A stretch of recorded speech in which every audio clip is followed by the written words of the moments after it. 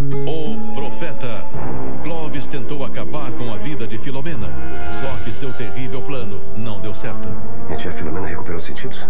Nesta terça, seis da tarde, O